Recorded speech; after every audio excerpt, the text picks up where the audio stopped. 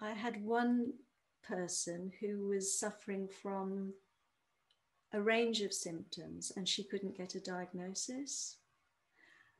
And she was seeing multiple practitioners and she was getting worse. So everything that they tried was actually not taking her in the right direction. And she was stuck in her life circumstances, in her capacity to work, in her capacity to afford her day to day living.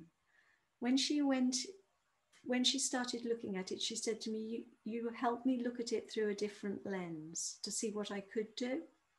And it, it helped her put the brakes on the medicine to say, hang on a minute, this is taking me in the wrong direction. I'm not going to get mad about this. I'm just going to halt it.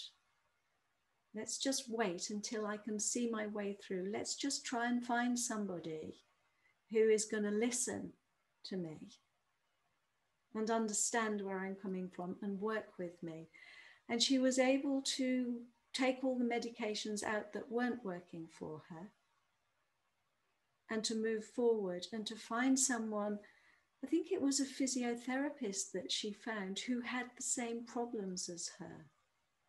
Right, so she needed to be able to use her limbs in a certain way to exercise them. She had fibromyalgia, but that was as a consequence of something else, which was why the fibromyalgia treatment wasn't working.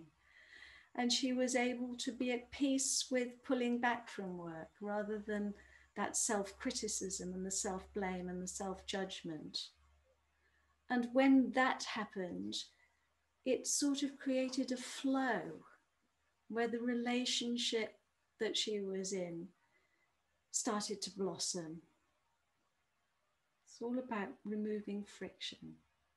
It's all about increasing flow. It's all about being content with what you can achieve and enjoying the fruits of that labor.